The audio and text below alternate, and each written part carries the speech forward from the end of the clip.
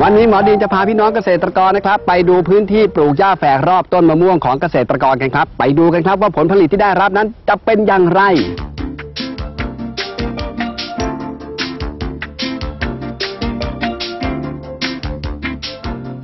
สถานีพัฒนาที่ดินชัยภูมิ ได้แนะนำให้นายอุดมแสงประสิทธิ์เกษตรกรบ้านเดือตำบลกุดน้ำใส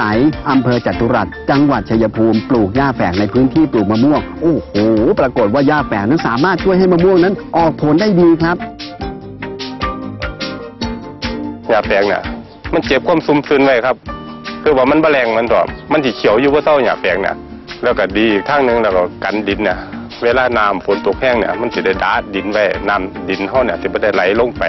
แล้วก็เวลาใส่ปุ๋ยนะปุ๋ยก็จะไม่ได้ไหลลงไปสิจะกันปุ๋ยไว้รอบรอบต้นมะม่วงนะ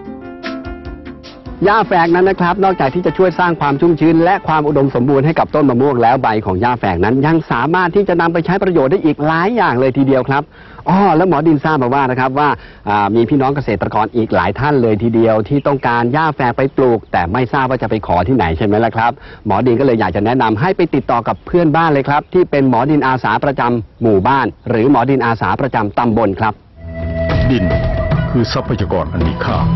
เมื่อดินมีปัญหา ต้องปรึกษาหมอดิน หมอดิน